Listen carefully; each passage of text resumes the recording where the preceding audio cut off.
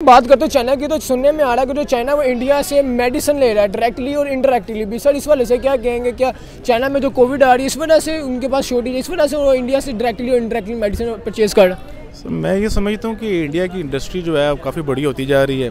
और इंडिया जो है, वो अब हर फ़ील्ड में आगे की तरफ़ जा रहा है, क्योंकि वहाँ पर पोलिटिकली एक स्टेबिलिटी है, और उन लोगों का फोकस जो है, अपनी प्रोग्रेस की तरफ़ है, और डेवलपमेंट की तरफ़ है। तो मुझे यूँ लगता है कि इंडिया की इंडस्ट्री वाकई बहुत बड़ी है। आप देखें कि दुनिया में सबसे ज़्यादा डॉक्टर्स जो है वो इंडिया प्रोड्यूस इंडस्ट्री की मैं बात करता हूँ तो इंडिया के पास इसमें मेडिसिन की बहुत बड़ी इंडस्ट्री है। अगर वो चाहे तो पाकिस्तान को भी मेडिसिन प्रोवाइड कर सकता है और चाहे तो वो चाइना को भी। इसके अलावा और भी ममालिक है जिसको वो मेडिसिन प्रोवाइड कर सकते हैं। अगर बात करते हैं पाकिस्तान की तो इनडायरेक्टली या डायरेक्टली पाकिस्तान में भी इंडिया की मेडिसिन आ रही हैं। इस वाले से आप क्या कहेंगे?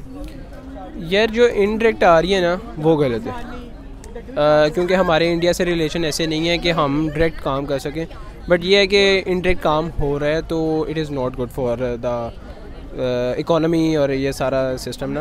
प्रोपोगंडा ये जिसमें कहा जाता है कि भाईजान इंडिया से हमारी दुश्मनी है और आप इंटरेक्ट उससे कपड़ा मंगवा रहे हैं इंटरेक्ट उससे पान का पत्ता मंगवा रहे हैं इंटरेक्ट आप उससे मेडिसिन मंगवा रहे हैं तो it is not good for the economy के हमारी इकोनॉमी ग्रोथ करेगी। क्योंकि इंडिया की इकोनॉमी इतनी ग्रोथ कर चुकी है कि दुनिया के थर्ड लार्जेस्ट उसके ऊपर मेडिसिन का वो जा रहे हैं। तो या तो रिलेशन हमारे ठीक होने चाहिए या तो फिर ये इलीगल काम फ़ील्ड में भी सुनने में आता है इंडिया बहुत ज़्यादा आगे बढ़ रहा है। जी मेरा जो मेरी ओपिनियन है वो यही है कि इंडिया की इंडस्ट्री अब बहुत बड़ी हो चुकी है। और ना सिर्फ़ चाइना मेरे ख्याल से अमेरिका वगैरह में भी उनकी जो है इस तरह एक्सपोर्ट जो है वो जारी है। बल्कि डॉक्टर सबसे ज़्यादा उन्हीं के जा रहे हैं दुनिया भर में। तो ये एक तरह से वेकअप कॉल पाकिस्तान के लिए भी है कि हम लोग कहाँ स्टैंड कर रहे हैं और इंडिया की जो इंडस्ट्री है और इंडिया जो है वो सिस्टम कहाँ जा चुका है। पाकिस्तान की बात करते तो पाकिस्तान और इंडिया के साथ अपने ताल्लुक बहुत ज़्यादा ख़राब दिखाते हैं बट डायरेक्टली और इनडायरेक्टली भी वो इंडिया के साथ ट्रेडिंग भी कर रहा है। और अगर मेडिसिन की बात करते हैं तो मेडिसिन भी ले रहा है। तो वो तो फिर मजबूरी है ना? वो तो मजबूरी है मतलब इसके अलावा वो क्या कर सकता है? मतलब और बाकी ये है कि मतलब हमारे उनके साथ जो है अब तो कोई कंपैरिजन ही नहीं है मेरे ख्याल से हमारा उनके साथ कोई मुकाबला ही नहीं है। हमें जो है ना ये मतलब छोड़ देने चाहिए बातें कि जी हम इंडिया के साथ ये कर देंगे वो कर देंगे। बिल्कुल आप कहना चाहिए हम इंडिया अपने आप को इंडिया के साथ कंपेयर नहीं कर सकते इंडिया हमसे बहुत दादा चलो अगर मैं पाकिस्तान की बात करता हूँ तो पाकिस्तान में भी डायरेक्टली और इनडायरेक्टली इंडिया की मेडिसिन यूज़ हो रही है। जी जी बिल्कुल ऐसे ही है। और मेरे आप मानते हैं इस चीज़ को? जी मैं मानता हूँ और क्योंकि मैं ये समझता हूँ कि देखें ना हम पैनाडोल लेने जाते हुए एक पैनाडोल नहीं मिलती यहाँ पर। और तो जो मेडिसिन है उसकी शॉर्टेज मेरे ख्याल से इसी तरह पूरी की जाती है। और जैसे कि अगर हम आप देखेंगे अगर एक बिजली का सिस्टम उनसे बाय कर लेते हैं जैसे पिछले दिनों एक स्कैंडल आया हुआ था तो मेरे ख्याल से कोई बड़ी बात नहीं कि अगर हम मेडिसिन जो है उनसे इम्पोर्ट करवा रहे हैं। तो जी वालेकुम सर क्या हाल है? बिल्कुल ठीक है। सर, अगर मैं बात करता चाइना की तो सुनने में आ रहा है कि जो चाइना वो इंडिया से मेडिसिन ले रहा है डायरेक्टली और इनडायरेक्टली भी। सर, इस वजह से क्या कहेंगे, क्या चाइना में जो कोविड आ रही है, इस वजह से उनके पास शॉर्टेज इस वजह से वो इंडिया से डायरेक्टली और इनडायरेक्टली मेडिसिन परचेज कर रहा है? मैं ये समझता हूँ कि इंडिया की इंडस्ट्री जो है काफ़ी बड़ी होती जा रही है। और इंडिया जो है, वो अब हर फ़ील्ड में आगे की तरफ़ जा रहा है, क्योंकि वहाँ पर पोलिटिकली एक स्टेबिलिटी है, और उन लोगों का फोकस जो है, अपनी प्रोग्रेस की तरफ़ है, और डेवलपमेंट की तरफ़ है। तो मुझे यूँ लगता है कि इंडिया की इंडस्ट्री वाकई बहुत है। आप देखें कि दुनिया में सबसे ज़्यादा डॉक्टर्स जो है वो इंडिया प्रोड्यूस कर रहे हैं। मेडिकल फ़ील्ड में भी सुनने में आता है इंडिया बहुत ज़्यादा आगे बढ़ रहा है। जी मेरा जो मेरी ओपिनियन है वो यही है कि इंडिया की इंडस्ट्री अब बहुत बड़ी हो चुकी है। और ना सिर्फ़ चाइना मेरे ख्याल से अमेरिका वगैरह में भी उनकी जो है इस तरह एक्सपोर्ट जो है वो जारी है। बल्कि डॉक्टर सबसे ज़्यादा उन्हीं के जा रहे हैं दुनिया भर में।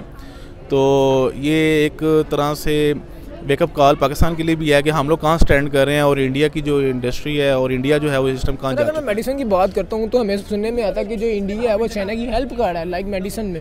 अगर देखा जाए तो चाइना में सुनने में आता है कि चाइना में कोविड जो है बहुत ज़्यादा बढ़ रहा है। क्योंकि देखा जाए आपके सामने कोविड की जो सूरत हाल चल रही है। तो जो है इंडिया है वो चाइना की हेल्प कर रहा है डायरेक्टली और इनडायरेक्टली भी। सर आप क्या कहना चाहेंगे कहना चाहेंगे कि इस मेडिसिन के हवाले से कि इंडिया में जो मेडिसिन की शॉर्टेज चाइना में जो मेडिसिन की शॉर्टेज है? यार एज अ ह्यूमैनिटी देखा जाए ना तो उसको चाहिए कि उसकी हेल्प की जाए। क्योंकि एक एक दिन में 37 मिलियन पीपल्स को वहाँ पे चाइना में कोविड हो रहे हैं। तो ये तो इतना रेट है कि पीछे जितने भी तीन लेयर्स चाहिए उसके अंदर इतना कि, किसी भी कंट्री में नहीं होगा। तो किसी कोई भी कंट्री अगर चाइना इंडिया या पाकिस्तान उसको चाहिए कि उसको उसका वो मैम अगर मैं मेडिसिन की बात करता हूँ तो सुनने में आया जो चाइना है जितनी इतना बड़ा इंडस्ट्री है जिसके पास वो उसने खुद इंडिया से मेडिसिन ली है। इस वजह से आप क्या कहेंगे? इंडिया से मेडिसिन ली है? भाई ले सकता है क्योंकि इंडिया जो है वो मेरे ख्याल से बहुत ही ज़्यादा जो है तरक्की याफ्ता मुल्क है। और वो बहुत कुछ बना रहे हैं। अब वहाँ पे गाड़ी गाड़ियाँ भी बना रहे हैं इवन के। मतलब लोकली जो है वो मैनुफेक्चर कर रहे हैं। बिल्कुल लोकली मैनुफेक्चर कर रहे हैं। तो वो तो बहुत बड़ी इंडस्ट्री है उनकी। और वो बिल्कुल ले सकते हैं। देखा जाए तो चाइना और इंडिया के जो है वो मतलब आपस के मामला जो है वो इतने अच्छे नहीं हैं। लेकिन जो है इन बुनियादों पर ये एक दूसरे से मेरे हाथ से कर सकते हैं और मतलब उसमें अगर मैं पाकिस्तान की बात करता हूँ तो पाकिस्तान और इंडिया के साथ अपने ताल्लुक बहुत ज़्यादा ख़राब दिखाते हैं बट डायरेक्टली और इनडायरेक्टली भी वो इंडिया के साथ ट्रेडिंग भी कर रहा है। और अगर मेडिसिन की बात करता है तो मेडिसिन भी ले रहा है। तो वो तो फिर मजबूरी है ना? वो तो मजबूरी है। मतलब इसके अलावा वो क्या कर सकता है? मतलब और बाकी ये है कि मतलब हमारे उनके साथ जो है अब तो कोई कंपैरिजन ही नहीं है मेरे ख्याल से। हमारा उनके साथ कोई मुकाबला ही नहीं है। हमें जो है ना ये मतलब छोड़ देने चाहिए बातें कि जी हम इंडिया के साथ ये कर देंगे वो कर देंगे। बिल्कुल आप कहना चाह रही हैं। हम इंडिया अपने आप को इंडिया के साथ कंपेयर नहीं कर सकते। इंडिया हमसे बहुत आगे दादा चलो अगर मैं पाकिस्तान की बात करता हूँ तो पाकिस्तान में भी डायरेक्टली और इनडायरेक्टली इंडिया की मेडिसिन यूज़ हो रही है। जी जी बिल्कुल ऐसे ही है। और मेरे आप मानते हैं इस चीज़ को? जी मैं मानता हूँ और क्योंकि मैं ये समझता हूँ कि आ, देखें ना हम पैराडोल लेने जाते हुए एक पैराडोल नहीं मिलती यहाँ पर। और तो जो मेडिसिन है उसकी शॉर्टेज मेरे ख्याल से इसी तरह पूरी की जाती है। और जैसे कि अगर हम आप देखेंगे अगर एक बिजली का सिस्टम उनसे बाय कर लेते हैं जैसे पिछले दिनों एक स्कैंडल आया हुआ था तो मेरे ख्याल से कोई बड़ी बात नहीं कि अगर हम मेडिसिन जो है उनसे इंपोर्ट करवा रहे हैं तो। सर अगर मैं मेडिकल फ़ील्ड की बात करूँ तो सुनने में आता है कि जो इंडिया है थर्ड लार्जेस्ट इकोनॉमी बनने जा रहा है। सर, इस वाले से क्या कहेंगे कि वो अपनी मैशियत पे बहुत ज़्यादा गौर कर रहा है, अपनी इंडस्ट्री पे बहुत ज़्यादा गौर कर रहा है, अपनी मेडिकल फ़ील्ड में बहुत ज़्यादा गौर कर रहा है। सर बेसिकली बात होती फोकस की। उन लोगों का फोकस जो है, वो अब, मेरे ख्याल से अब हम लोगों को भी इस चीज़ से बाहर निकल आना चाहिए कि इंडिया एंटी इंडिया पॉलिसी जो है, और हम लोगों को उलझाया गया हुआ है, सत्तर पचहत्तर साल से हम इसी चीज़ में लगे हुए हैं। फोकस देखें आप उन, उनका कि वो साइंस में मार्स तक जा चुके हैं। इसके अलावा मेडिसिन फ़ील्ड है एजुकेशन है वो हर फ़ील्ड में हमसे कई गुना ऊपर जा चुके हैं। बल्कि अभी मेरे ख्याल से वो रोल मॉडल रोल मॉडल बनते जा रहे हैं दुनिया में। तो मेरे ख्याल से ये जो एक एंटी इंडिया पॉलिसी अब ख़त्म कर देनी चाहिए और कंपटीशन करें हेल्थी कंपटीशन ज़रूर करें।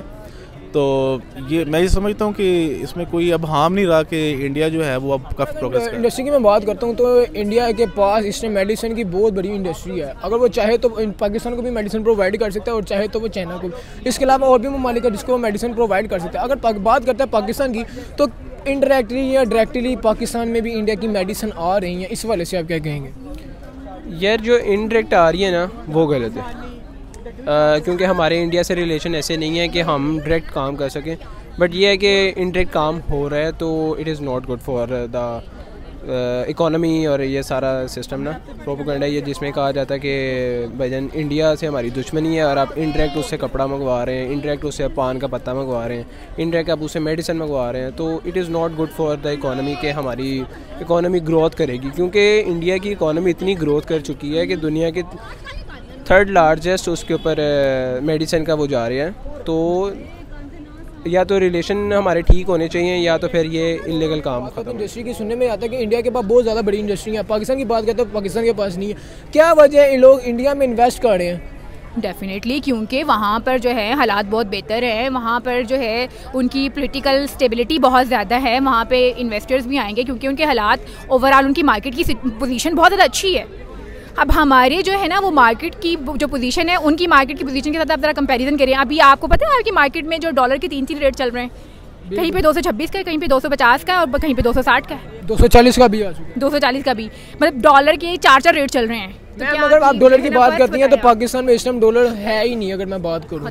हमारे यहाँ पे जो सुजुकी जैसी इंडस्ट्री थी वो भी अब बंद हो चुकी है कि उसको डॉलर दिया नहीं गया जिसकी वजह से बंद बहुत सी इंडस्ट्रीज़ बंद हो रही हैं। टेक्सटाइल जो है वो चुनिया मेरे ख्याल से वो भी उन्होंने भी फैक्ट्री बंद कर दी है जिसकी वजह से अनएम्प्लॉयमेंट बढ़ रही है बहुत ज़्यादा। पाँच पाँच सौ जो है ना वो उनके एम्प्लॉयर्स जो हैं एम्प्लॉयज़ जो हैं उनको उन्होंने फारिग की है मतलब फैक्ट्री बंद होने की वजह से। तो आप देखें ना कि मतलब बेचारी गरीब गरीब आवाम भी पैसे बात करता हूँ हम पाकिस्तान और इंडिया की बात करते हैं तो सुनने में आता है कि पाकिस्तान इंडिया के ताल्लुकात ठीक नहीं है। सर, ताल्लुकात तो एक साइड पर हम बात रह के बात करते हैं। देखिए, अब जो दौर है, वो इकोनॉमी का दौर है। ठीक है, हर कोई चाहता है कि हम इकोनॉमी में किसी न किसी को भीड़ करें, जिस तरह से इंडिया ने कनाडा तक को भी भीड़ कर दी है। अब वो थर्ड लार्जेस्ट इकोनॉमी बन गया इस वाले से क्या कहेंगे? सर, देखें, दुनिया अब एक ग्लोबल विलेज बन चुकी है और हम लोगों को थोड़ा सा अपना माइंडसेट चेंज करना पड़ेगा। अपना फोकस जो है, वो इस, इसके डेवलपमेंट की तरफ़ लाना पड़ेगा और हम लोगों को सो, एक दफ़ा बैठ के सोचें तो सही कि यार हम लोग क्यों पीछे रह गए हैं।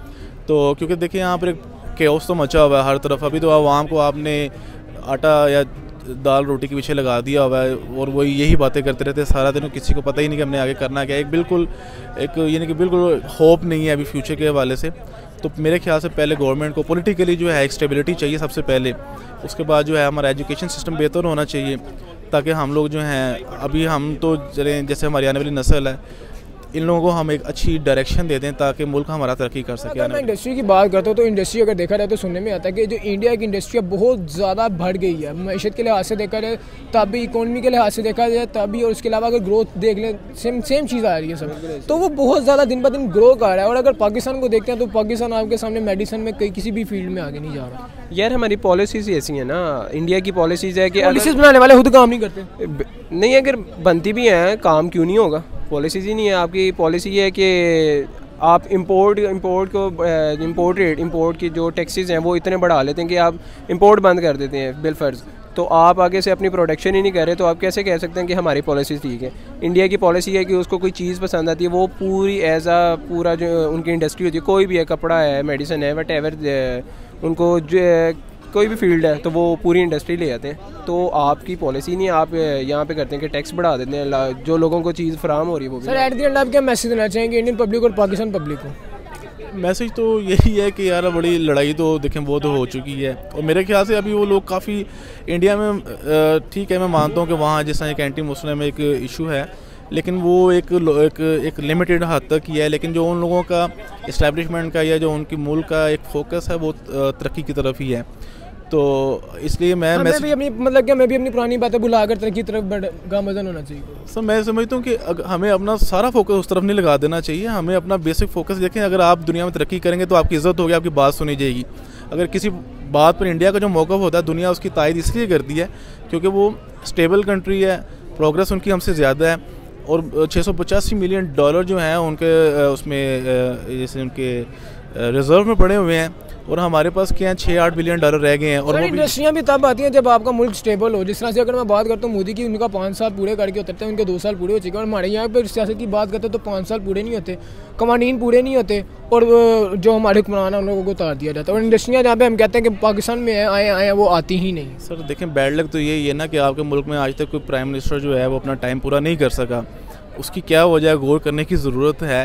आवाम को सिर्फ़ यही मैसेज है कि आप ख़ुद गौर करें अच्छे लोगों को चुनें ताकि जो हमारे मुल्क को तरक्की की तरफ़ चला सकें। शुक्रिया। Thank you sir